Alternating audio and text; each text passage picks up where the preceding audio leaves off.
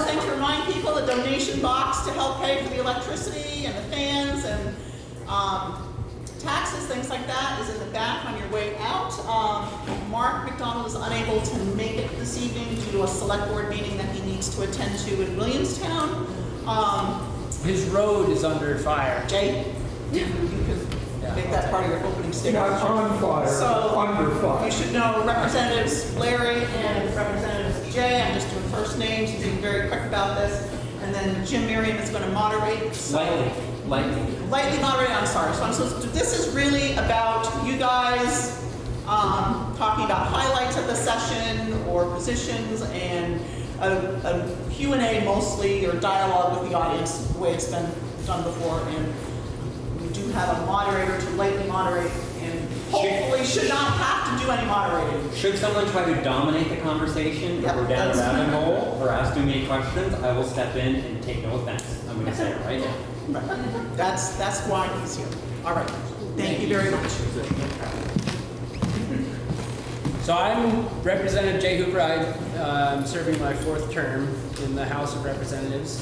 Um, I serve on the House Committee on Government Operations uh, and Military Affairs. We were uh, privileged to take on the jurisdiction of half of another committee uh, as the Speaker rearranged the makeup of the committees this session. I'm in my fourth term. Um, I'm pleased to continue to represent all of you in Brookfield and Roxbury, Granville, Randolph, and Braintree. Um, my committee took on quite a few issues this session. We we were probably one of the more productive committees, uh, particularly in the way of addressing some of the specifics of uh, town requests throughout Vermont.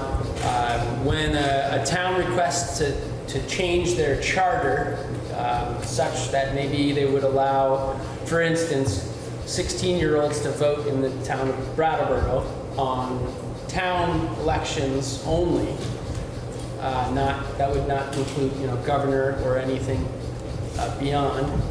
Uh, The legislature has to give permission to those towns. Uh, My philosophy always is that if a town and their voters, just like how Brookfield might uh, say, we uh, signal to the legislature that we would like this change, would make no sense to me that the legislature would stand in the way of that request from that sort of immediate voting group.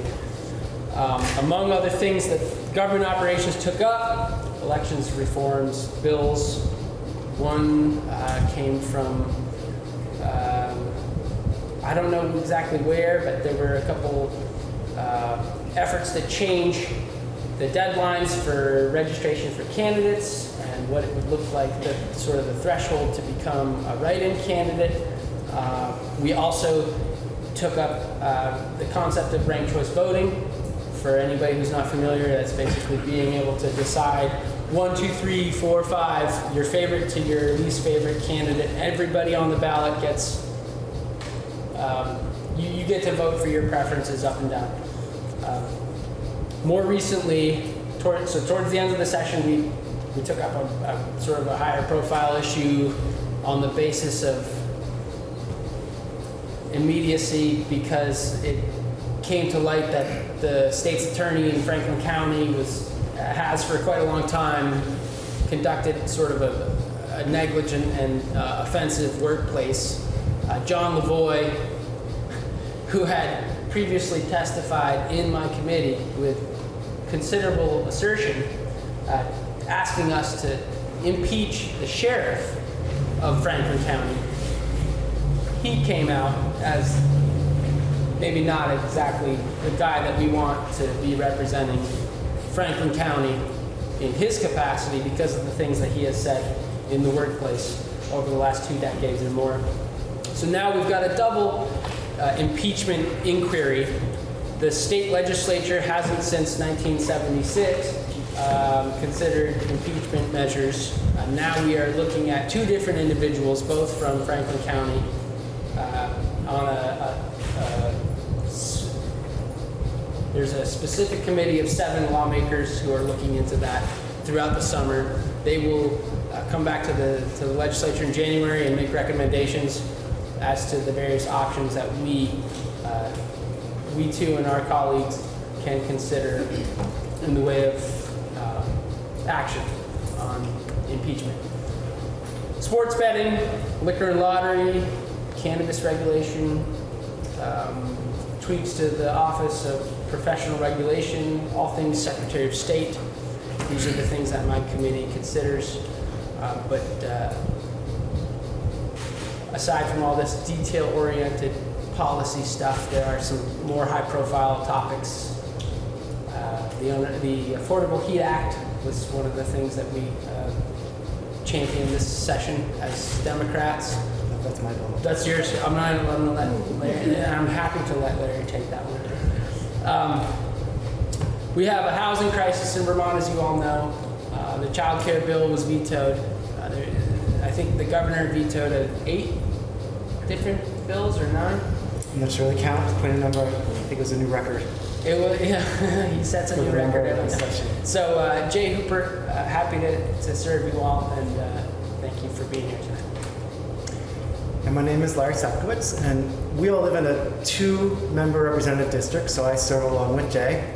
Um, This is my second term. I serve on the Environment and Energy Committee. And in, um, in my committee this year, we um, tackled a number of um, really important bills. We passed quite a number of bills out of committee. It was a very productive session.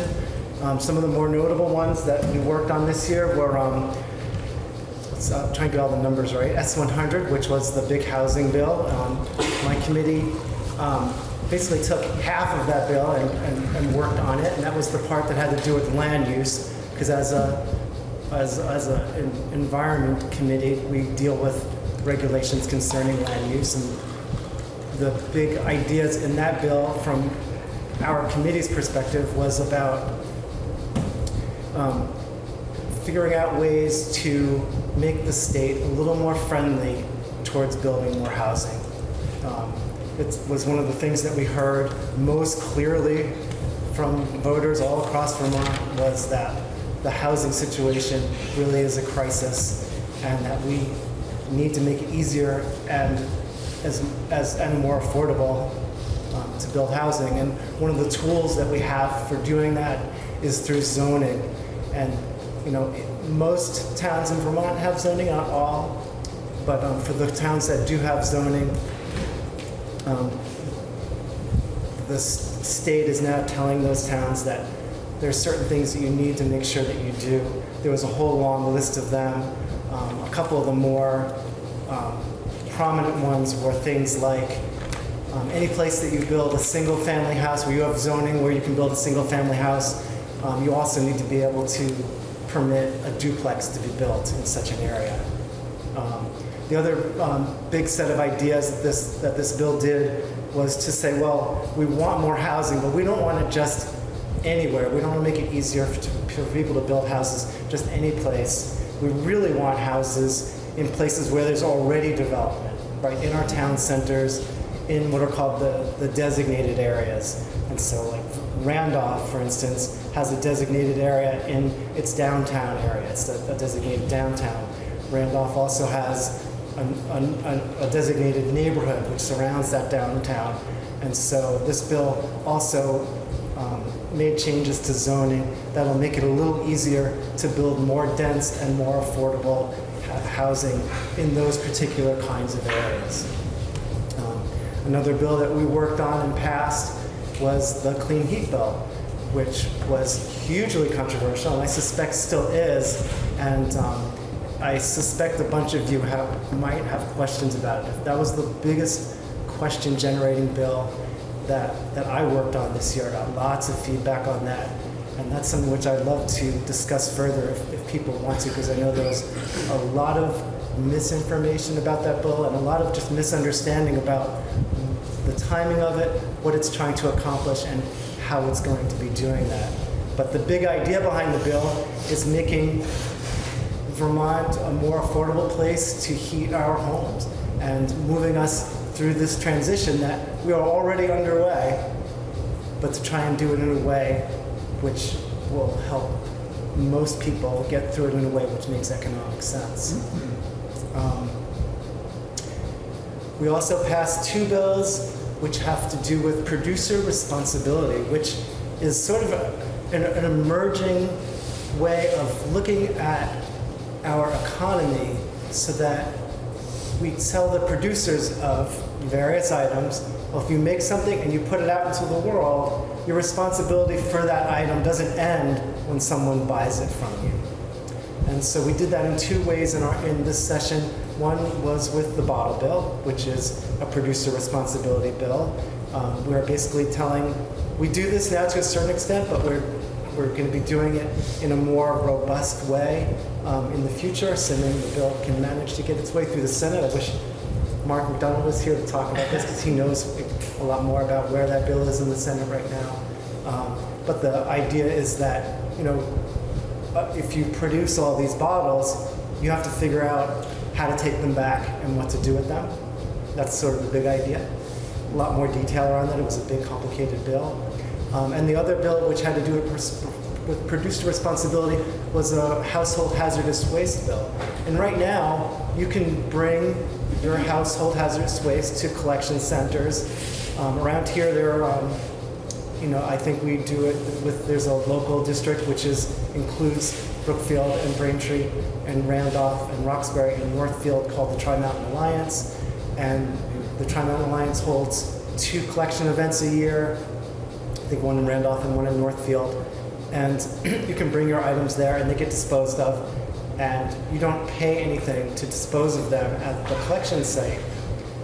But you pay for it indirectly through your municipal taxes and through your state taxes because it does cost a lot of money to get rid of these hazardous materials and the way it is right now producers can sort of let those things out into our environment people can buy them but then they don't have to do anything with them after that what we're saying with this bill now which was signed into law just recently is that producers need to pay to get rid of this stuff so it seems like that's a really good thing, you know, that it makes sense that the, that the people who are creating this stuff are going to pay for getting rid of this stuff instead of making people pay for it who had no role in producing it or using it or had anything to do with it. And um, I think there was one other bill I wanted to mention real quick. Oh yeah, the other one which I wanted to mention, which actually was um, enacted into law, I think just today, was the uh, 30 by 30 bill, which is a bill that um, directs the Agency of Natural Resources to do a planning. Um, their mission is to, is to plan a way so that we can have permanently protected, environmentally sensitive areas across the state of Vermont, um, 30% by 2030 and 50% by 2050. Now, most of Vermont is already forested, and due to the really wonderful efforts of, I don't know, hundreds, thousands of landowners who manage their lands in responsible ways, we have um, really remarkably robust ecosystems here. We're really lucky. Um, what this bill would do is it will help us maintain those ecosystems and all the benefits that they provide us um, long into the future by coming up with a plan to really make what we already have now in place, which is sort of on a ten- tentative basis, to make it a lot more permanent. So that our children, my children, my grandchildren, people who will be here dozens, hundreds of years from now, will be able to look out on our landscape and see a world, a functioning ecosystem, um, which is much like what we have today, and not see the sorts of development that you see in other places. Um, if you travel just not far from here, right, all across New England, um, you, it's very easy to find places where um, there's development, and all the nooks and crannies and the, and the sort of more wild places have, have really greatly diminished. And um, so this this bill will help us keep those places intact. And correct me if I'm wrong, Larry, but this bill, the 30 for 30 bill, uh, 30 by 30 bill, is essential to connecting. Vermont has a corridor, forest-wise, that would connect the various other parts of New England that are doing this effort. And in order to make those efforts maximal, this bill is important. So like, we're connecting other states and their efforts to do so by, Right, no, that's, that's true. There's, from the, the wildlands in Vermont, um, our, our corridors for animals to travel, and plants and other, and, and, and other kinds of um, organisms as well, between Maine and the national forest there, and New Hampshire, and then in New York and the Adirondacks is, a- the Adirondack State Park is a huge natural area, and then there's large forests, protected and unprotected, north of us too, in, in Canada. And we're right in the middle of all that. So both of our committees have taken on quite a lot um, in the way of sheriff reform and environmental issues. Uh, we are both sitting on fairly statusy committees. They're not money committees. You- Typically in the legislature, you, that those who serve on the committees that decide what what it looks like Vermont to collect revenue versus how Vermont appropriates dollars to state interests and public entities. Those are where the more powerful politicians sit. We're on committees that aren't aren't very low on that, you know, the list of cloutful committees, I suppose. What do we do now, Jim? We're, if you both are ready, we're ready. Oh, we're ready. And I'll let you pick the names, and I'm only gonna jump in. Okay. I mean, their hands. Sure. I'm only gonna jump in if it seems like somebody's nominated. So you guys look good and don't have to shut somebody. down. I'm here for you. Ah, thank you. Referee. Who's first? Anybody? Kevin? I know you got Yeah, first. well, I have lots of questions, but I'll just ask two based on what you just described. If I'll go and raise one. Um, I know that, Larry, you talked about um, encouraging home building, which is a big issue. Homelessness now as well, in designated areas. It said you wanted to increase density in areas that are so designated, but also make them more affordable. And I know that Jay just said you're not really in the economic forum, but did the committee discuss means by which we could look at housing for people? Because that's something I've heard a lot always, as well as you folks. And people, especially young and people with less means, are having really struggling to find housing. Yeah, no, yeah, no, thank you for that question.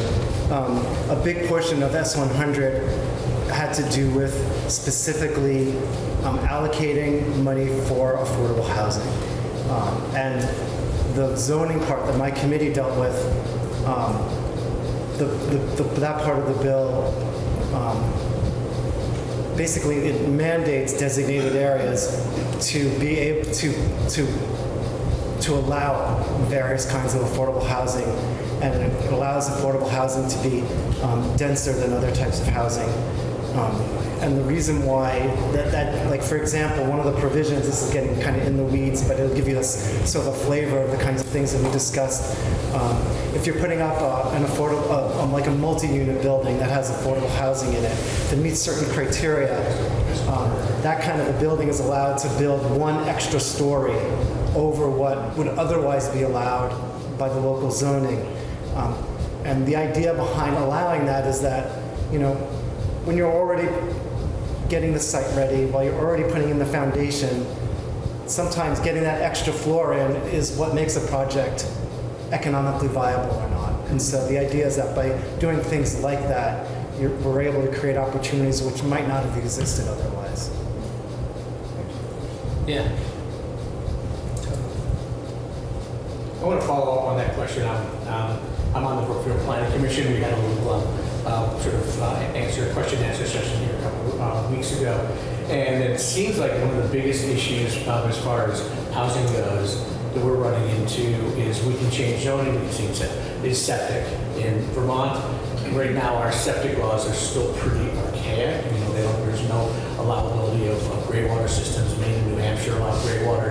And especially with this new movement of like smaller ADUs, small houses, that's the way to really tackle some of the affordability side of it, to where if somebody is in a two, three, four, 200, 300 square foot um, tiny house, and they have, and they can put in a gray water system and use a composting, composting toilet, that is gonna help with the affordability, it's gonna help get some housing out there, you know, because we all know building costs are massive. We can't, you can't do anything about it as a state legislator, we can't do anything about it, but it's like, I feel like if, on the planning commission in Brookfield and in the state, if we can do certain things to get out of people's way, and I, you know, I understand septic's important, but, you know, the gray water thing really is, for me, is a tough one to stomach, that There's no allowed, if you don't put in a a licensed septic, you're a camp, and depending on what town you're in, you got 100 days.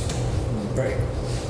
So, and I know that's neither of your committees, but I think that's definitely something that, that the state should look at, re, uh, rethinking the, you know, what our, our wastewaters um, look like, especially for towns like Brookfield that do not have a public wastewater system. Um, And there's, no- and we're not like, we're just, we're not the few, we're like sort of more the norm in Vermont, not having, you know, water, you know, public water, public wastewater. Yeah. You know, so all of this great commi- all this great, you know, sort of ideas behind rebuilding and repurposing old buildings, downtown areas, so much of it around the country focuses around areas that have public water and waste.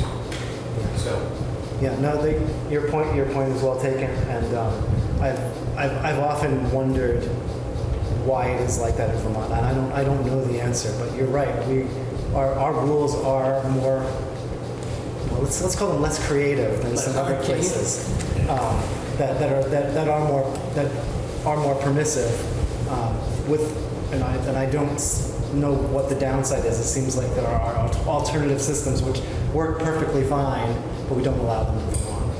thank you. Do you have my wife at state, and she's back gardening, and she works in the A and R, I think she can. yeah, I would talk to her. So what, do you, think? is there a specific obstacle with gray water uh, that makes it a camp versus a? Well, there's just, you, you cannot, there's, there's, you can't, there's no approved, you, you have to have an approved state septic design, which is mound system, or if you don't perk, or perks, you can't have gray water, you just can't, you know. Yeah, and- I and- think septic, that's thirty, fifty thousand right there. You know, we, you know, you know, you, you, you- you know, and we as a town, we can't change that, so we can't say, you can, you, you can have this, you can have this ADU on your property, you know, if it doesn't tie into your septic and your septic can handle it, you can't do it. Uh-huh. Or, and like I said, you know, especially because there's this big movement on the tiny house thing. Yeah. And it's like, and not to be that, not to be too combative, not, it's like, okay, so if I had a 400 square foot small house with a composting toilet and a gray water system for one individual, um, and, you know, am I gonna have that, am I gonna have a bacterial load going through my gray water system more than one cow doing its thing daily? You know, and it's like, and, and, and the answer is no. I think there should be safeguards. It shouldn't be like, you have your, you, you have your gray water system right next to, you know, in, in a, like a body of water or stuff like that. But it, it, it's taking a lot of buildable land and money out of the, um, system. Yeah. As she said, it's a huge, Go to your committee, maybe. Yeah, absolutely. thank you. Thank you, thank you. Yes, sir. Jack? You know, as long as you guys brought up the poop situation, I gotta, I gotta get this off my chest. You can't have, you can't put a, a, a trailer on a piece of property and just dig a hole and use that as your septic and get in trouble for it, but yet septic cleaning companies, and this is already happening here in Brookfield, trust me, I know. Mm-hmm. They clean out a septic over in Barre, and they bring the stuff over here and they spread it on fields, untreated. Really?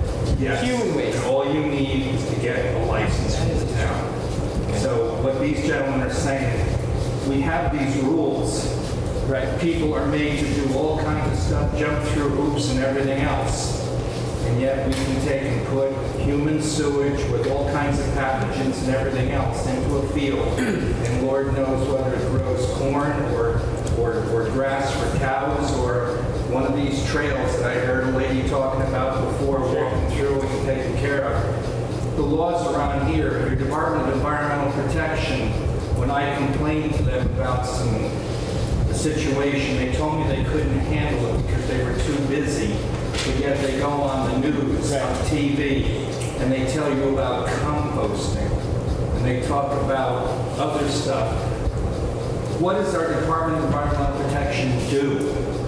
They're a big office, but they can't seem to take and get the right regulations out there to go after the stuff that makes the place look like hell. Sure. Yeah, we have, And even though it's not your purview. Right, right. But you're in, you're, both of you are in positions to buttonhole people that can do something.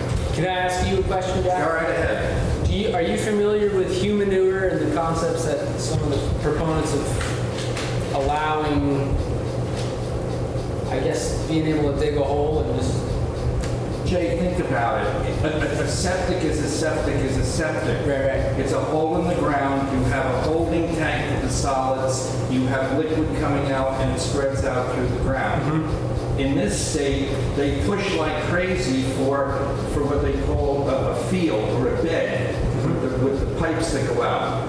Those things cost fortunes. The lady back here, Right, I was told, they cost twenty, thirty thousand dollars. I spent my life in construction. They don't cost that kind of money. The contractors screw you every time they put money You in. came from New Jersey, right? Yes, I did. I'm proud of it. Sorry, folks, but, and by the way, don't let this damn state look like New Jersey, please. Put stop to it. But the point I'm trying to make is, we passed this law and that law and everything else, and you look around at some of the laws that we got, and like you said, they are archaic. They're ridiculous.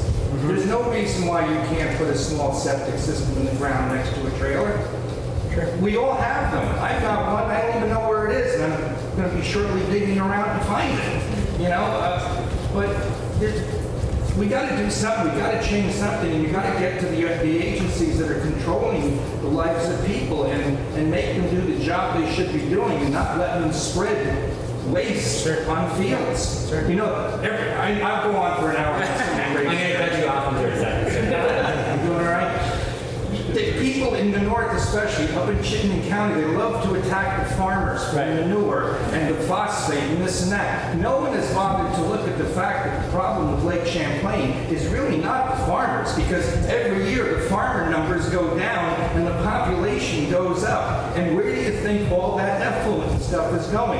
Into the ground, and if you check the, the, the, the soils and stuff, I'm not a, a geologist, but I would love to know which way all the water goes, that it's all towards Lake Champlain. So all the new houses on septic are sending their stuff into the lake, but yet everybody blames the farmer. Right. Like, like, please, shut me up. I think Emily had a question behind. Yeah, to loop back to Yeah, and stuff. So, and like something we were talking about, I've lived tiny in multiple different states and all that. Vermont has really weird rules, and what he's saying, and like point of, you don't have the septic, and you're considered a camp. So then you can only live there six months a year, and that's where it's an issue that okay, so then the other six months of the year, I either maybe could get kicked out of my land, get in trouble, and like in Pennsylvania, and this is a legal thing in Pennsylvania, we were allowed to run our gray water, and we had a whole system for it. We had a neighbor try to say we were putting poop in it. We had our land tested, all of that, dirt samples. We had some of the best dirt samples he said he's seen. Like it was no issue, all compostable products. Mm-hmm. But then for our waste, and I know like we're not, co- it's a lot of sewage and stuff, like, or not public Right, water it's septic. Like Pennsylvania, you're allowed to have like a porta potty company come to your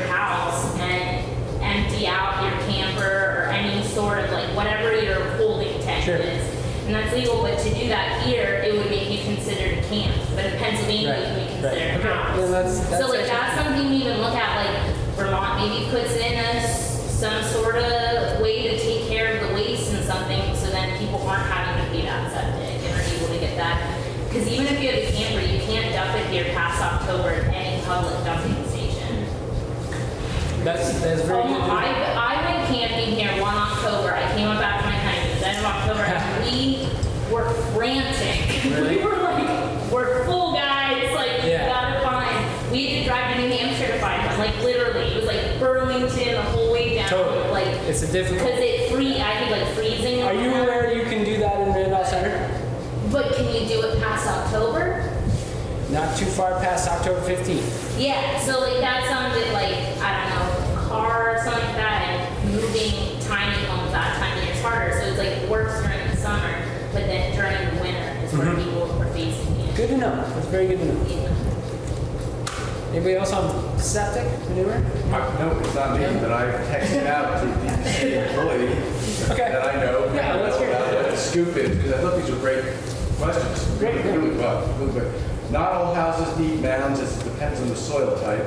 Vermont treats gray water as black water due to human germs in it. Yes, Vermont is different than Maine and New Hampshire. The gentleman with the complaint about spreading should call Carl Fuller of DEC, Gary and Brookfield are in his jurisdiction, or call the DEC complaint line. agreed, mounds are very expensive, and she's still typing. But that sucks. Carl Fuller, Jack, you got a phone number for him? We'll- we'll deal with that. I guess you call the DEC complaint. The next time I take in contact, No, you don't want to deal with it. Sound I'm like gonna you're go in with a shotgun. Oh. I'm not gonna write that back. Anyway, should we, uh, More questions? Tell us about the Unaffordable Heat Act, where that came from, and how come you're pushing it so adamantly. Sure. So there's been a whole, whole bunch of things that have been said about the, the, the, the Clean Heat Act. And um, I, I want to sort of push back on some of the things that, which I've heard over the last several months. Um, one is that it's going to raise the price of oil and propane, like starting now. And the bill does not go into effect until 2025. if that's, If it does go into effect, right. Because the, before the bill goes into effect, I shouldn't say it that way. The bill, the bill was passed, the, the, it was vetoed, and the veto was overridden, so the bill did go into effect. But what the bill does, the bill that we passed, is it creates a study group and it creates the ability for the PUC to create regulations for how this will all work.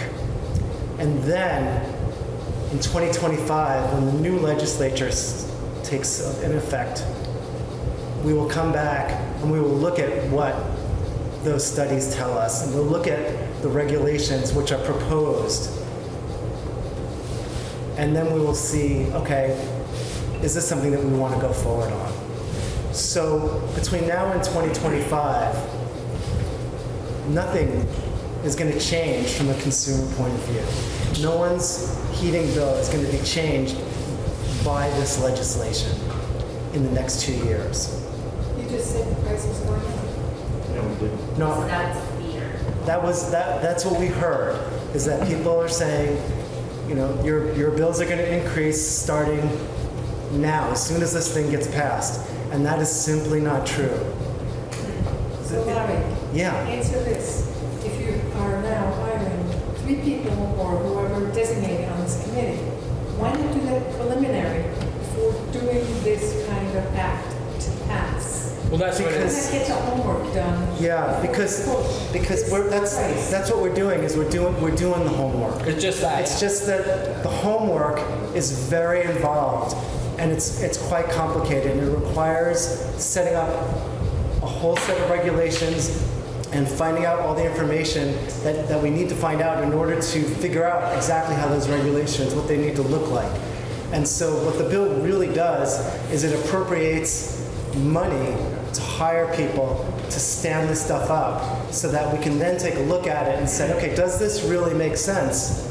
And then in 2025, we'll come back and we'll look, look at this all over again. And then we're, that's when we really are going to decide whether we want to move forward with the program that is envisioned by S5. Now tell us the uh, vision that you have for this. So, so the, so the vision is that there, there will be, um, it will set up an energy credit system. And we already have energy credit systems in Vermont. We have one through, through um, the, the utility, the electric utilities. It's been in effect for a very long time. This system would be different than that, but it's the same basic idea. And what it will do is it will add a cost. It's not like this will be free. There will definitely be a cost to this. That cost is unknown right now. This is one of the other things which we heard a lot about was the cost is going to be really large. We heard of 70 cents a gallon. We heard much higher numbers. Um, those, those numbers are not based in reality. Um, the closest um, program that exists, which would be similar to the one that is envisioned by S5, is a program in Oregon, which has to do with automotive fuels there. And they saw increases in certain fuels on the order of 5 to 15 cents a gallon, something in that neighborhood, far cry from the 70 plus cents a gallon that we've been hearing um, people who, who are against this legislation, um, who are really putting those numbers out there to scare people. So we, are, we, are, we do expect it to cost something, but we expect those costs to be affordable. And what, what, what, what we never heard from the folks who were against this bill, they would always talk about the costs, but they never talked about the benefits. Right now, we live in a world where heating fuels are very, very expensive. And they contribute to polluting our atmosphere. And we're reliant on them. And the money that we spend on them, most of it goes right out of state. We want to move towards a future where we're burning a lot less of this stuff, keeping the money here, and having the cost be lower all at the same time. It involves making a transition. Now, the transition is already happening. Whether Vermont likes it or not. Well, but what is happening in Vermont, it is happening in Vermont. But the way in which it's happening in Vermont is that people who can afford to transition are doing it. So as you look around and you see people putting solar panels up on their roofs, well, who's doing that? People who can afford to put solar panels on the roof. And if you wander around, well, Randolph Village, I see it around, really, I live in Randolph Village and I see this as I wander around. Heat pumps are popping up all over the place. If you pay attention, you see them happening. But they're not cheap. They make economic sense. They pay for themselves. But not everybody has the money up front to make it happen. And so what this bill will do is this energy credit system will take that money, those energy credits, the, the money that's generated by those credits, and they're going to help folks of lower and moderate income, the folks we think of as kind of like ordinary Vermonters, and it's going to help put incentive programs in place so that when you say to yourself, well, my house is a really good candidate for a heat pump. Now, not all homes, heat pumps aren't a great solution for all homes. That, that is very clear. There are some people who are saying, well, they're going to make everybody have heat pumps. That is completely not true. Only, only a fraction, a large fraction, but only a fraction of homes makes sense for having a heat pump. But anyway, I want to go back to this idea that let's say you have a house in which a heat pump makes sense, but you don't have the money to get started, to save yourself money in the long run, right?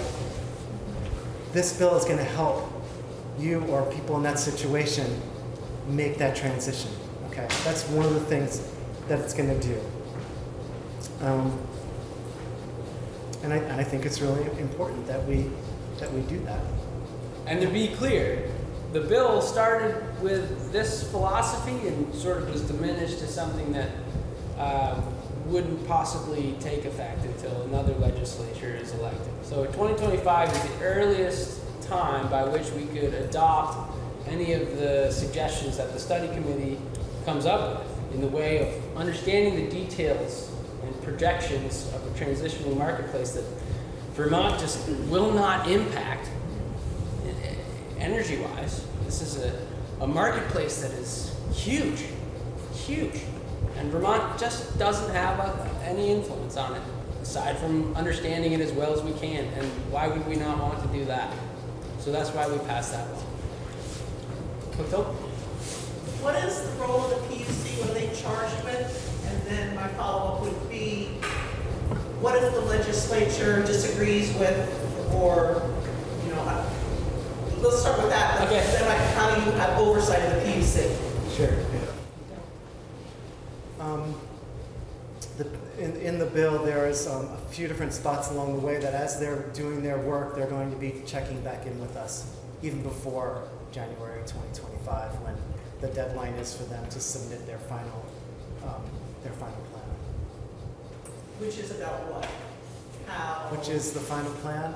The final plan is, is basically the, the regulations that will be put in place to set up this energy credit market and the associated government apparatus that, that needs to make it all work. And what if the PUC says we want to run more power lines from Hydro Quebec because we consider that a renewable resource, even though it's on Um, indigenous land? This bill is pretty specific in terms of what they're, what they're being asked to do. So it's, it's very much related to helping us move um, our home heating thermal sector, you know, away from oil and propane. Right, but I would, that, that, that's just, I guess, my problem, is the PUC is supportive of Hydro Quebec and would be supportive of probably bringing in Right. more and saying it was renewable. And I'm not My, saying this because I know. yeah, no, I hear what you're saying. Don't you- Using, using, um, it, it's really, it's really about what kind of fuel you're gonna use. And so the, the bill is really all about, um, moving us towards, it is moving us towards using electricity, because the heat pumps are, are, use electricity.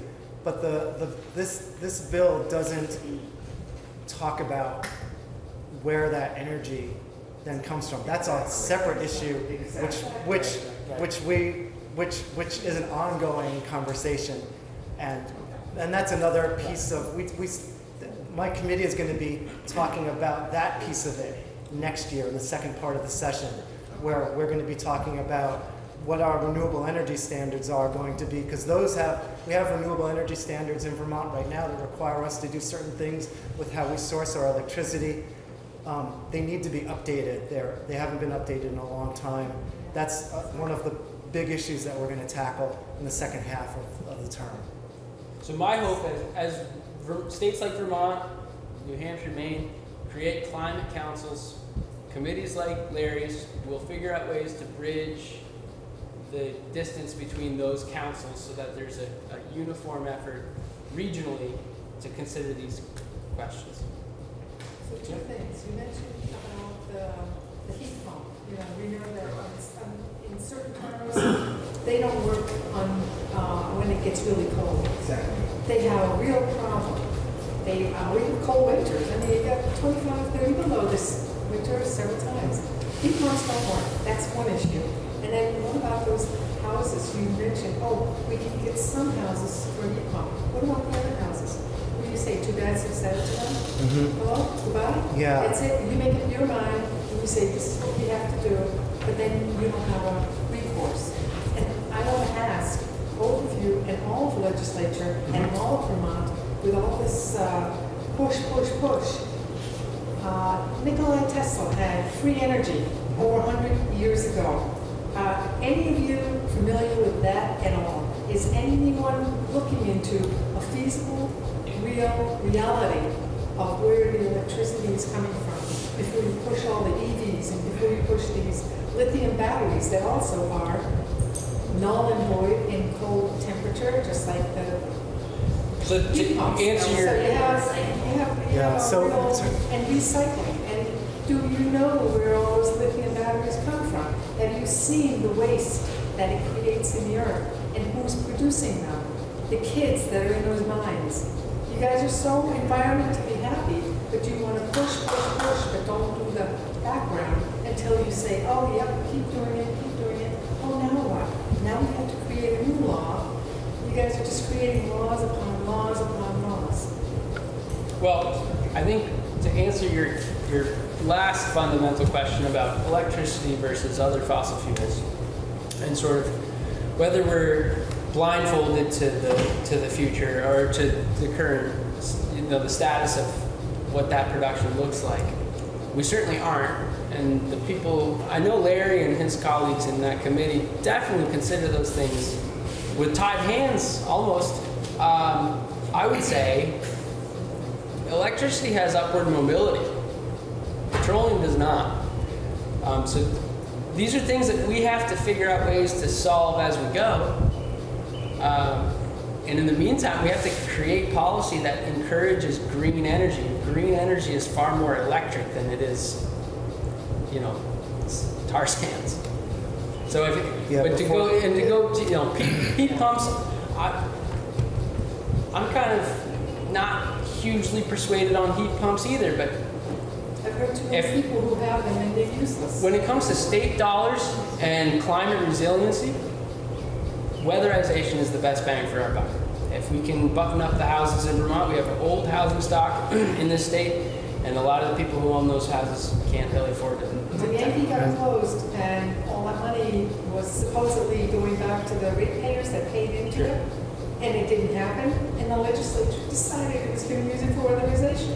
Whatever happened? Why aren't these houses now in a better position than they were before that? I mean, I don't see that. It's just a little, Yeah, so I- you brought up some really great points, and I'd like to respond to some of them. yeah. So in terms of heat, do heat pumps work? They absolutely work. And the reason I know that they work is because I have a heat pump in my 1890 Queen Anne Victorian for the last eight years. And we have gone from burning over a thousand gallons of oil a year to burning plus or minus 100 gallons of oil a year. Um, our heat pump almost completely heats our house. Wait, wait, wait, stop, excuse me. You're still burning oil, which means you're not getting your heat totally from the heat pump. Well, that isn't the point. Most, let me, no, let, Jay, let me respond. Most, Yeah, you respond. the, so, because what I really want to respond to is this idea that heat pumps are ineffective in our climate. And it, it isn't, it just isn't true. The heat pump that I purchased eight years ago um, is now old technology. The, the heat pumps that come out now work even better at even lower temperatures and do a more efficient job of pulling hot air out of cold air than the heat pump that I have. The heat pump that I put in my house eight years ago has more than paid for itself in the time that I've been. Yeah. Yeah, um, how, during the period of time now that all the rules and regulations are gonna be developed to uh, set the stage for the uh, legislature in 20, uh, 2025, uh, how has the committee uh, envisioned what's going to be happening, happening to the current energy supply community and businesses in the state? Because I, I, what I do know is on the corner of my home of West Street and Crossover Road, I see an awful lot of oil trucks going back and forth, back and forth, all over the, uh, all over the area. And- Or, or in my case, propane trucks. Um, How do you understand that the energy supply companies that we now rely upon Yeah. Are going to be able to cope with the transition because of what the kind of business they have now? Yeah, yeah, yeah. No, thank you for that question. We heard a lot of testimony from the fuel dealers who are going to be sort of the, the sort of on the front lines Right. in terms of being affected by, by this legislation. And um, what we heard was um, all from sort of all across the spectrum, from people on one end saying, "This is horrible. It's going to kill us. We can't do this. Please, please, please don't do this," to companies on the other end who are saying, we're already doing everything you want us to do. Um, and, and, and, and in between. The reality is that the change which we're asking the fuel dealers to go through, um, we're just asking them to do it faster than they would have otherwise. They're going to have to do this to one extent or another. Um, I, I suppose you know, sort of veering off, off a little bit here, but one of the things to keep in mind here is that this, the, the, the program that we're going to set up is going to be until 2050. So, you know, nothing's going to happen overnight. It's not like there's going to, like, on, it's not like the day that the bill gets passed, all of a sudden, everything's going to change. It's, it's not going to be like that. It's going to be gradual. You know, people are going to change their fuel systems, their heating systems over time when they can. The idea really is not that you just take your existing system and you toss it in the garbage. The idea is that at some point you decide that it makes sense to get, it, to get a new one. Like in, in my case, in my home, you know, we already had a perfectly good oil-based system. And for those really cold nights, like you're saying, we're not completely off oil. On those really cold nights when it's minus 25 and we can't, and our heat pump can't keep up with the heating demands of the house, yeah, we turn our boiler on. But we're using 90% less oil than we used to. Like, it's a world of difference. Imagine if all, if all across the state, everybody used 90% less oil. The amount of money that would stay in our economy here would be hundreds of millions of dollars greater. It would be an economic boon to people living here now, you know, in, in, in our communities. This is a really, this is a really good thing. I mean, there's all sorts of good reasons to, to get off fossil fuels. But if, if all you're interested in is the bottom line, just the economics of it, it's a no-brainer.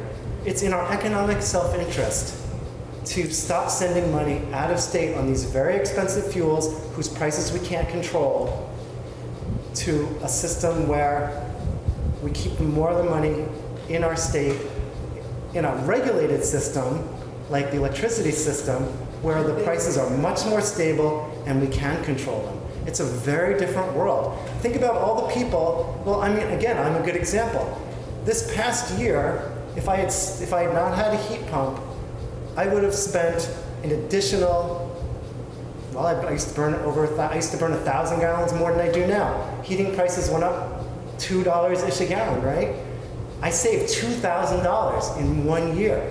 That's half the price almost I spent on the heat pump eight years ago. Like, wouldn't it be wonderful if we could make that available to more people? Like, I am so much better off because I heat myself with this more efficient, economically regulated product than if I had stayed on the world marketplace for fossil fuels.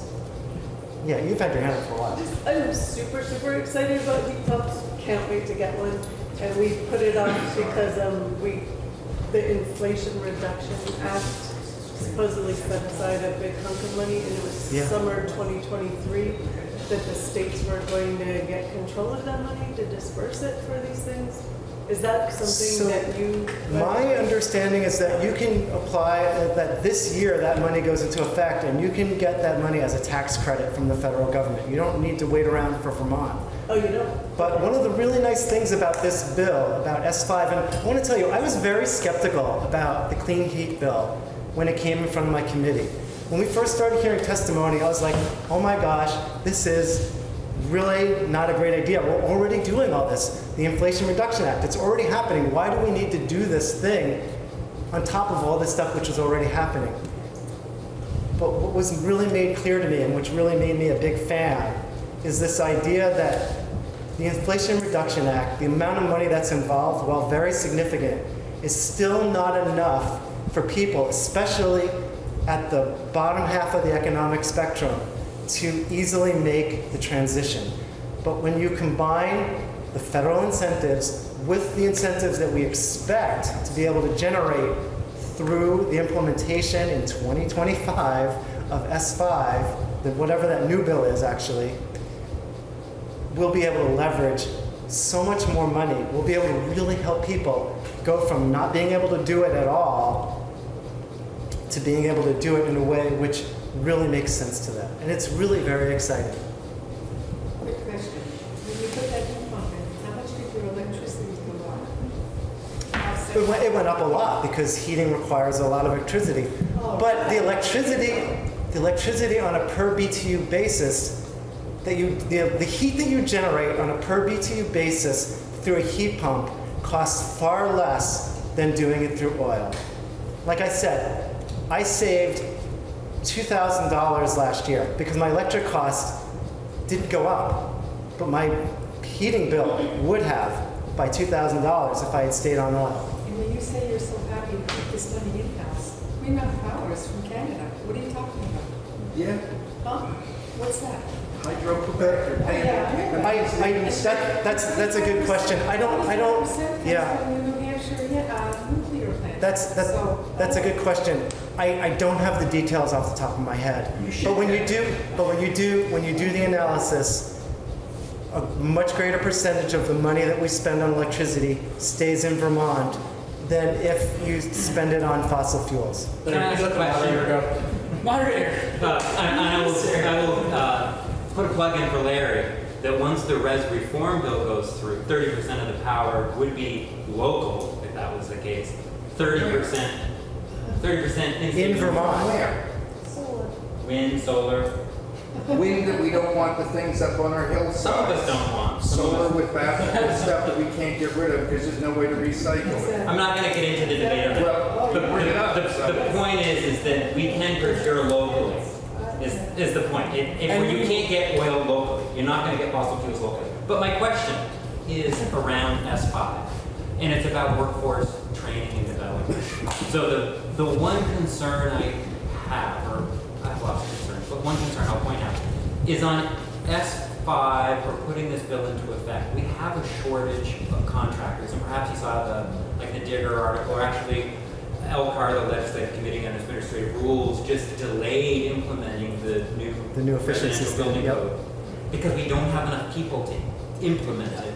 Is there something in S five that is actually going at, you know, you could pass the most tremendous bill, but if we don't actually have the people to do the work, it's gonna be stifled. And so I'm curious Yeah, to see and- within S five, is there a workforce development function? There, there's not a, a specific workforce development in S5, um, but the, in terms of um, the, the mechanical stuff, like installing heat pumps, we're actually fairly close to being able to meet the demand for that now. Um, the installers have been hiring people pretty rapidly in that field.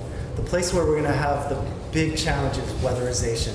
And that's the part which Jay alluded to, but I didn't get a chance to say yet, is that um, for folks who maybe a heat pump doesn't work for their household, um, but they have old windows, they have no insulation in their walls, we have lots of those houses. I think it's 90,000 homes in Vermont are still in need of major weatherization, and getting that done is going to be our big workforce challenge. Um, But it'll create And- jobs.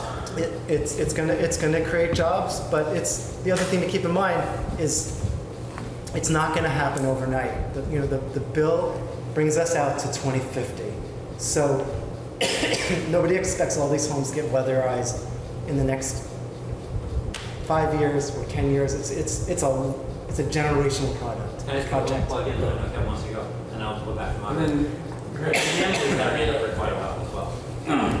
There are though pockets within the state, if you go to southern Vermont, particularly like Bennington County and in that area, there's not enough contractors to do Right. heat pumps even True. at a low rate. it's And- crazy. Wild. and so it's going to be for it to be a statewide implementation versus, you know, oriented towards more of the uh, population centers. We really do have to think about how we make sure that rural areas don't get left behind in the transition because of insufficient workforce.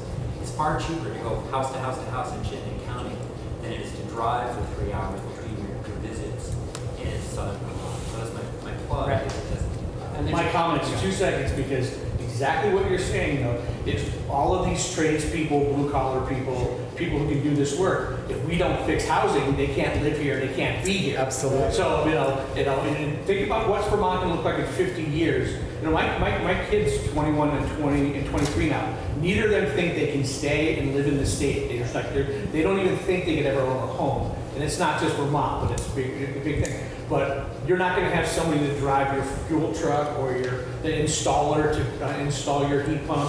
Um, if you go down to Central Supply to buy a two by four to go out to eat, you can have all of these big expensive houses and all that, but if you don't have a place, and I'm in the hospitality industry, if you don't have a place where, you know, working class people can afford to live, you don't have a society.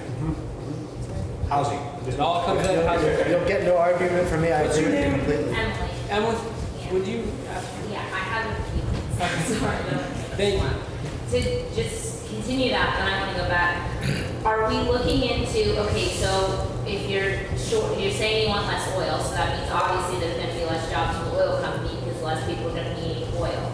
Are we looking into taking those companies, offering them incentives to say, hey, now do you want to learn how to install heat pumps? And do you want to learn how to do weatherization? Do you have workers for that? That's just a question, like, are we looking into anything like that where we have these companies that if they would suffer? I'm not in favor of a lot of what I'm hearing, but this is just a question for if it does go through.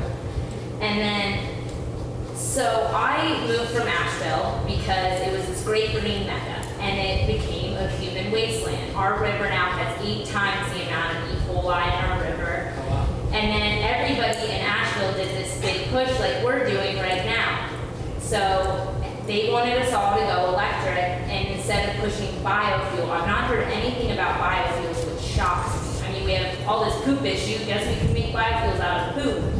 And Vermont can make that in-house. You could have farms make that in-house. You can store it. There's tons of things with biofuel. We're not looking into it. You can take oil systems and convert them very easily to take biofuel. So in Asheville, then we did all this to go towards electric. Know who provides electric for Asheville? Duke Energy. You know how Duke Energy gets electric? Coal, burning coal.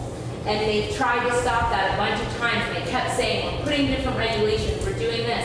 Guess who has more money than civilians that want green energy? Coal and petroleum industry and stuff. So I'm just concerned we're gonna go so green and then go electric. So I heard hydro, one of them where it's gonna go through native lands. And then nuclear, which I'm not against, like there are pluses and negatives to all of this. But I'm just concerned that we have so much focus on electric. What if our power grid shut down or something? Like you can deliver heating oil when your power goes out. If you're relying on electric when your power goes out to run your supply of heating, you can freeze to death. And that's an actual thing that can happen in Vermont. Yeah. No, you're right. And, and, ener- the energy credit market will also apply to biofuels and, and. Are we and- leaning towards that and it- and? It's, it's, it's in the bill. The, one of the things which is really nice about this bill is that it's really, it's technology neutral. So it actually doesn't really matter what your technology is. If it has a lower carbon footprint than, than oil and than gas, it's going to be supported by this bill to one extent or another. And so right now, the technology that we have, which is the most effective for most people, is electricity powered heat pumps. Not going to work for everybody. So the bill, but the bill doesn't mandate heat pumps. Doesn't, bill doesn't mandate any particular kind of fuel or heating source. What, it, what the bill will do is it says if you can meet you know the, the needs in a less carbon intensive way, then you get credit for that. And so if you can do it through biofuels or you can do it through wood heat, then that works also. Now, and excuse my ignorance because I'm new to the area, but I, this is know, this, I- this is a big complicated issue. Oh, totally. and so, I guess what I'm trying to wonder, like with the biofuels, is there an infrastructure then to support this? Like, does is Vermont looking into how to supply biofuels in house?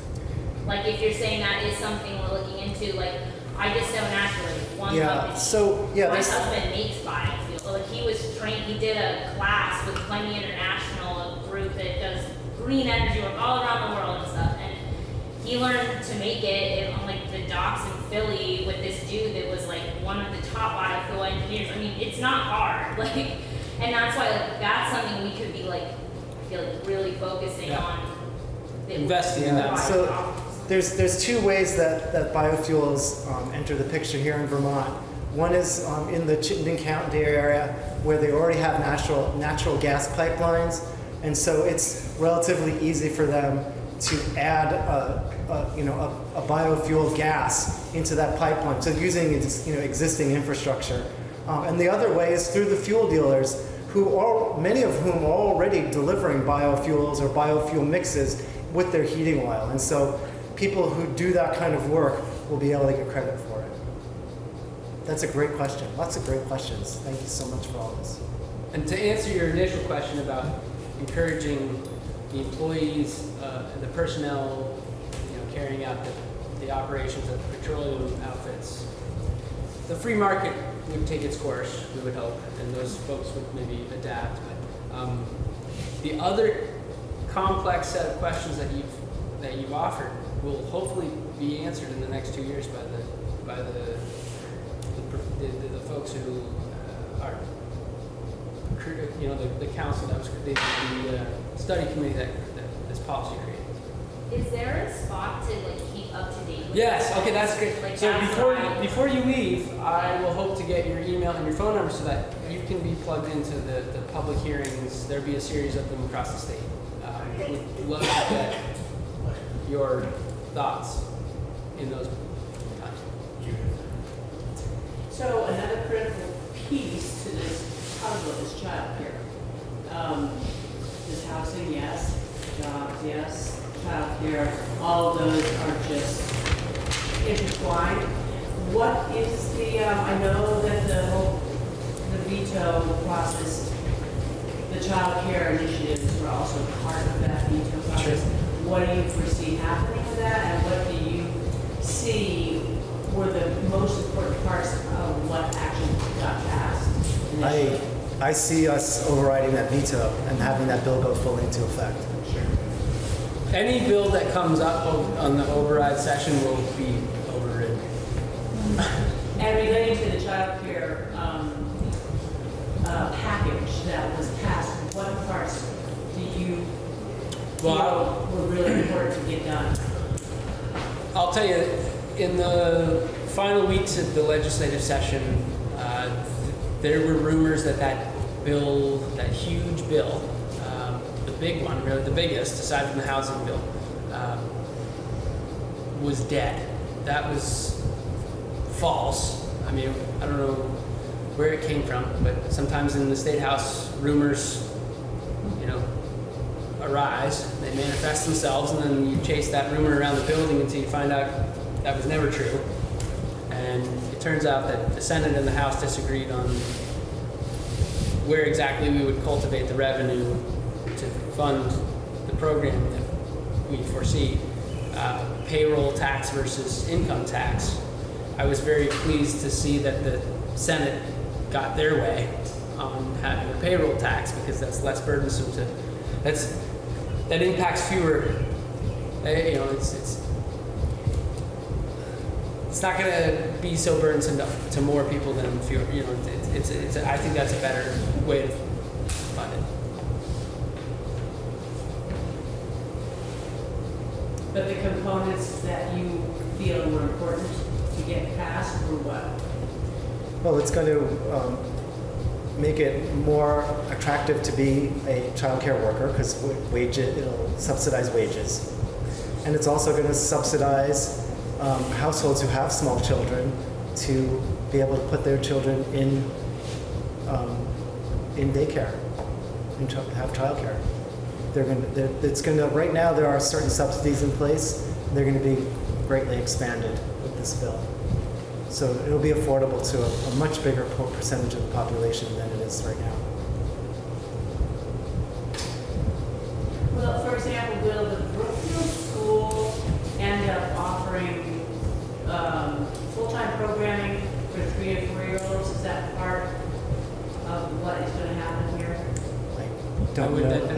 I that's- don't know specifically about, about Brookfield. That is the intent of the bill. Okay, that's, that's where the, that's kind of the overall decision about the location of, the primary location of child, of state-supported child. Sure. Yeah, yeah, yeah. So that, that, yes, you could probably expect that. We've discovered that the childcare sector in Vermont, um, we need both private and public sector, as you know. I think that the impetus that the legislature has had to take responsibility for is the reality that the onus is on the taxpayers to have to invest in the public sector heavily. Kevin? Uh, This is a little bit of a follow-up, but encompasses a lot of what both of you have said. So, and I know, Larry, that Mark greatly appreciates, I talked to Mark MacDonald as well, he was upset he couldn't be here, he wanted to talk about the heating situation. I think you've done an elegant job of trying to describe it. I just ran some numbers in my head, because I have some familiarity with this, I think you might have saved over three thousand dollars this year. It's because we're complicated, everything is so complicated, it used to be, we just burned wood for oil, there's no easy answers anymore. I have an 1824 house. I cannot use heat pumps well, lots of small. But I went to a um, pellet stove. I have wood heat. I was heating wood as well. Pellet stove, which I just did ran some numbers here again, saved me over $3,000 in my home last year because I saved over $1,200 oil. Just, just because, like you, I can only have to run the oil at 15 or 20 below. The pellet stove and the wood stove between them saved me a lot of money. So that, that's just one piece of the puzzle. I want to get back to um, economics a little bit. I know both of you are not on that. But, but this gentleman and others have said it's getting more hard for young people to stay here in the state. It, and, and- I have two children as well now, young 20s, middle 20s. One's already left. Another one's just finished college. I think she's going to move out. Um, and it's because of the cost of living. It's housing and other costs of living. We're losing a lot of young people that way. I, and I have a question that relates to that. Our tax rates still in our towns here are equal or going up this year. Now, my understanding is in the state of Maine, they refrained that because the federal emergency money that was flooded into the states. I've read different things, including out of the House right now, where people stated, all that federal money's dried out, we're almost done. That, that's not true. There, there are still tens of millions of dollars sitting in the coffers in Vermont right now. Education is one of them, by the way. It's huge. So I guess my question is, I don't think there was a correlation between the federal dollars and what you were trying to do to hold the budget in line as House and Senate members this year. Um, Maine, I think, took a stance, we could look it up, I might be wrong, but they tried to take a stance of, because of all the federal influx, no property increases. Now I'm understanding that our, our tax rate is going to go down slightly for education, but because the revaluation of Vermont homes, which has exploded, is going to cost people even more. So I'm wondering what types of things, and I know this is not on YouTube, gentlemen, per se, but no, it is a situation, and I, I want to know if people talked about it in the House and Senate, and if they had an understanding from education and other agencies, just how much money towns had, et cetera. In, in Maine, they took the money, and you can't offset taxes with it, but they put programs out early for citizens to vote on that would offset costs they had to pay. And we didn't do that here. We just kept saying it costs more to educate kids, we have to spend more money. Right. And, and the schools and everything, there was no conversation that there was $350 million in state, re- extra state revenue sitting here to be spent, which is now we're spending out contract, we are just forcing, force feeding money out of here to spend on almost anything, not necessarily preschool or children's education. We're building construction projects, the costs are off the roof because people, we don't have enough workers. They can charge, they're coming in from New Hampshire, can charge what they want them. I'll shut up there. I hope I made a point though, it is, You did. Is there a question though? I think the question is, do you see anything involved with any of the programs you've discussed? Mm-hmm. Childcare, education, the heating situation, whatever, that can also work back where we can talk to each other better, including federal people, which obviously are not talking to state people well, to make sure that Vermont is getting best bang for all the bucks we have. In education, you mean? Yeah, and education, So- by, by primary, but Kevin, you know probably better than most of the members of the audience how our education, our public education system is funded in Vermont. It's very complicated. Uh, you just referred to the common level of appraisal being something that will rise despite the fact that we are likely to see maybe three or four cents relief in our uh, property tax value in these towns, Randolph, Brookfield, surrounding towns, you know, this district. The cost per pupil uh, each year does indeed increase just about no matter what. Um, and the idea that we should spend less or, or save money on education is not a, a great one to pursue. Um, I guess if you're asking, can we figure out ways to better leverage federal dollars and be more in, in, in closer communication with the federal government? I imagine there are opportunities for that, but um, if, for as long as, so I mean, I think what part of the question is, is that do you guys know that? I'm not trying to put you on the Do you know but I think the average representative Do you know what? Do you want to? So this is my- this. This may be just my opinion, but I imagine most of you might agree with me. The reason why we have the education funding formula that we have today, State constitution. Act 60, it changes every year. those two things, but additional to that is the concept of local control, which is entirely a myth in Vermont. It isn't. It is, it is a concept that isn't real. And the reason is because you're not in control of a budget that only you can have an opportunity to say no to. So you're, the voters of Brookfield get to vote no to the budget that would, you know, prop up Randolph High School. And that's it. And uh, if you succeed in, in, in collectively saying, no, we reject that budget, and the other towns that belong to that district do the same, then it's upon the school board and the superintendent and those who create the budget to come back with a new proposal, which theoretically would be a, a, a, lower dollar amount than the one that you rejected. Is that control? No. It's veto power at best, tops. You know, you guys know all about that. Well, I was on the House Education Committee for two terms, so I did. So I, I got so the last two sessions prior to the one that we've just served, uh, we we explored what it will look like to update the variables by which we determine the cost per pupil in a, in a high school like Brandon. What it, what are the var, what are the factors that we calculate to determine how expensive it is to educate one child in 10th grade versus one child in second grade? Um, there used to be about four or five variables. Now there are eight, maybe nine. That policy is being ironed out. You know, the, the updated per pupil weighting system. Weighting being like W E I G H T. Um, we have yet to see what the impact will be, but um, I guess to, to if you had, if your question was, what is your, your question was, wasn't a big can, are we doing, are we looking into that? We certainly have, and uh, that was a that was a controversial topic. This session, most of the topics in the education committees were social in nature. Um, we let the court system typically in Vermont. Uh, in Vermont, we lawmakers let the courts decide what policy ought to, what criteria to dictate policy on this. Yeah, courts.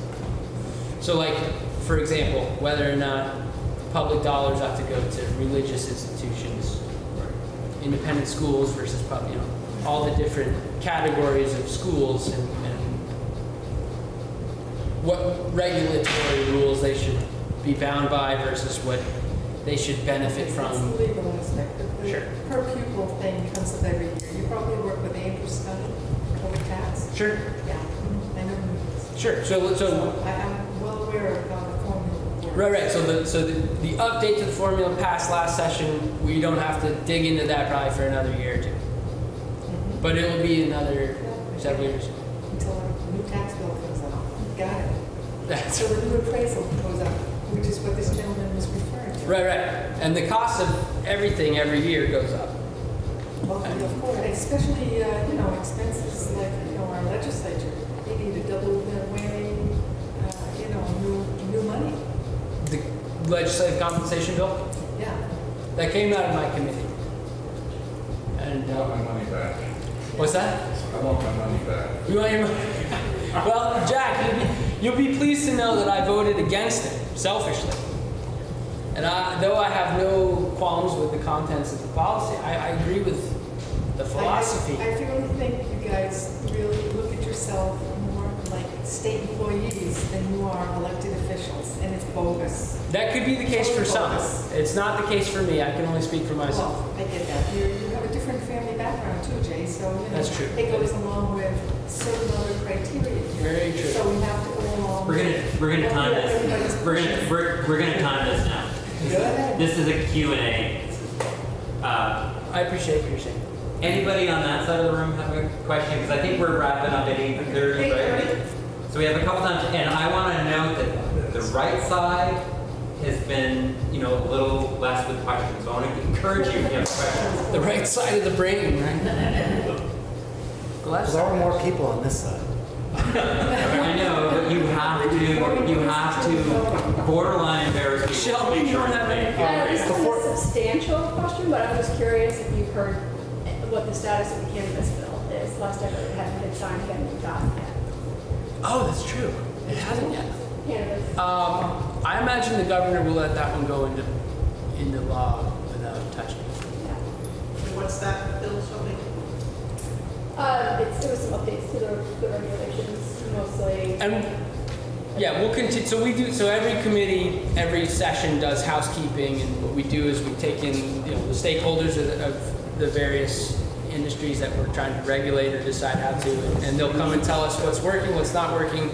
Um, in this case, we got feedback uh, from that community and, and also from the Cannabis Control Board, and we'll continue to do that for the coming years, every year. In my committee. So I'm the guy to call. And I wonder if before we wrap up, I could also respond to Kevin's question, because I, I think it- it's a really important question, and that um, I guess I- I'd have a couple of different responses, and one is that um, yes, Vermont got a, a tremendous amount of money from the federal government, and um, and that money is is being spent over several years. So, and it's a choice, you know, like you said, you know, different states have managed their budgets in different ways um, depending upon what, what their priorities are. Um, we talked about housing and, and the urgent need for more affordable, more and more affordable housing. Um, Vermont is going to be spending hundreds of millions of dollars on housing projects, um, using a, a lot of that money over the next several years. So a lot of that money, yeah, I mean, I suppose there, there's a world in which we could have chosen to not spend that money on housing and instead to lower taxes.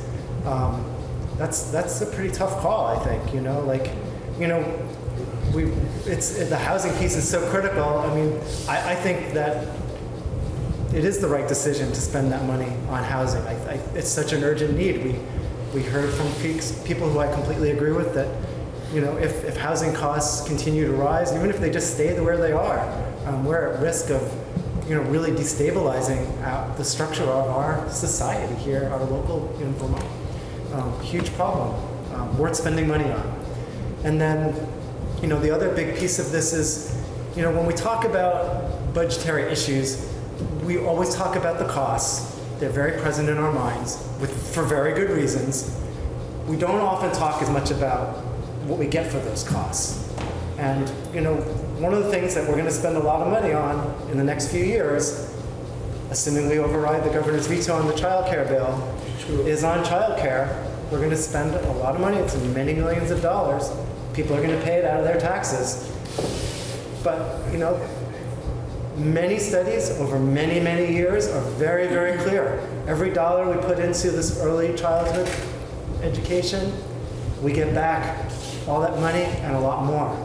So I think it's really important for us to flip things on their head and sometimes think not so much what is the cost of doing something, but what's the cost of not doing it, right? Because right now we're paying the costs of not investing in our children and not doing some of the things which we ought to be doing. Of course, there's limits. We can only afford so much.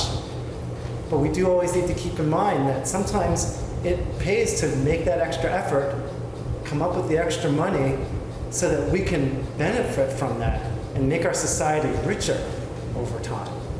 I was gonna say, we're at eight thirty, so I'm just trying to be careful. And and Kevin had one quick, oh, yeah, go ahead. Kevin had one update. Sorry, I just wanted to. No, I'm not sure people I, this is. I just wanted to uh, Yeah. clarify the 30 for 15 issue. or- 30 30 by 30. 30 30 by 30. Yeah. Um, and I was curious if that's uh, federally protected land, is that going to be like purchased uh, from private landowners or is that like uh, Do you know the answer? dependent on like public? Because I think I do, but I think you know better. So yeah. So there's a global initiative that's this 30 by 30. And it is now also a federal initiative that was endorsed by President Biden not too long ago. Vermont right now has a, a, a combination of public and private land. Um, we have a big chunk of public land that is our national forests. Um, the state also owns lands, municipalities own land, so there's a fair amount of public land also. there's quite a bit of private land which is already um, permanently protected through land trusts. What this bill specifically does for Vermont is it helps us figure out how to get the rest of the way there. So right now, it depends upon how you measure it, but we're somewhere in the low 20s in terms of the percentage of land which is already permanently protected in Vermont. So if we want to get to 30%, we're like most of the way there already. how do we get there? That's the open question. And like a lot of bills, especially the more complex ones that, that appear before the legislature, one of the things that I think a lot of people don't really know about is that the expertise in, in, in our legal structures, in our state government, really is in the state agencies. It's not really in the legislature. We have a citizen legis- legislature that meets for a little less than five months a year. We're really a bunch of part-timers, right? And we have no staff. So nobody works for me. I'm it in terms of research, responding to constituents, reading my email. No one helps me do any of that stuff. And so if we want to do things which really require a lot of legwork in Vermont, talking about state government, it's usually the state agencies that do that heavy lifting. So this, what this bill does is it directs the Agency of Natural Resources, being assisted by the Housing Conservation Board, to basically do an inventory, a much more detailed inventory than we, ha- than we have now, of what currently exists and its land ownership status. And then say, okay, we're here, we want to get here in this amount of time. What are some possibilities for getting there? And that's really all this bill does. It's really a baby step. It's not actually appropriating money to purchase land. It doesn't lay out a prescriptive way to get us there. It's basically saying, what's the world of possibilities? What opportunities do we have? What's the best way to do this in a prioritized way too? Like we don't want to just protect any land, right? There's certain places which are much lower priority and such places which are much higher priority. How do we actually go about preserving the land which is going to make the most impact, which is going to give us the greatest bang for our buck as we talk about going through that process? And it doesn't force anybody to sell their land. Doesn't force anybody to do anything. But it creates opportunity for people Just- to do that, instead of doing it. Yep, doesn't force anybody to do anything. Can you answer your question?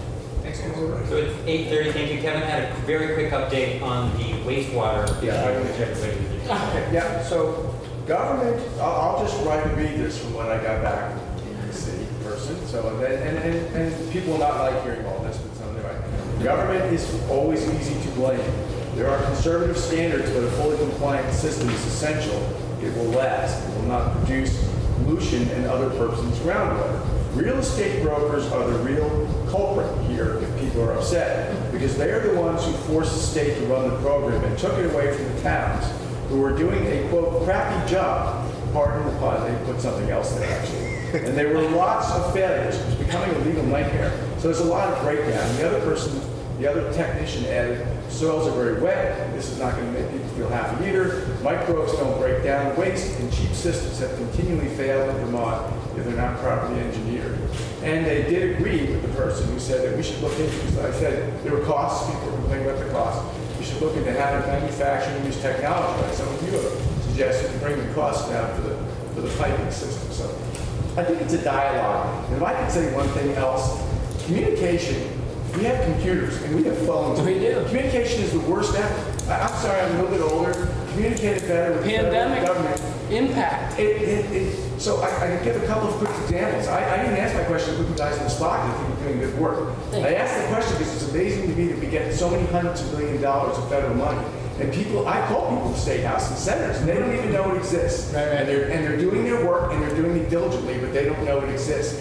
And I'll give one other example. It's very close to home for me. If people know Randolph Center, the State Environmental Lab, which was built not following Act 250. I have asked repeatedly for people, Al Floyd and I and others, we've just given up. We wrote letters, I wrote a letter to state government about why they built it 60 feet taller than they had a permit to do. I was supposed to see apple trees in my historic house, and I see a factory that's so loud at night, with windows closed, you can hear it. All I hear is we're working, we have a sound mitigation plan, it's the latest I've heard that. Nobody, BGS doesn't talk to the state government, doesn't talk to the federal government, doesn't talk to VTC that they bought the land from for a buck. Nobody talks to anyone. And it is amazing to me that how, with all the equipment we've got, and everyone like you and every one of us working so hard, that there's such missing stuff going on. Yeah. Okay? I'll ask you guys later about the bottle bill, because I come from Maine and they've solved their bottle bill. So we're, we're gonna leave Yeah. it there. Questions to the Maybe I'll have candidates? questions right? Questions to the candidates, can, you can free-form, communicate with them here. I'm people help stack the chairs on the sides. Tomorrow night is yoga, people want to come for the first time.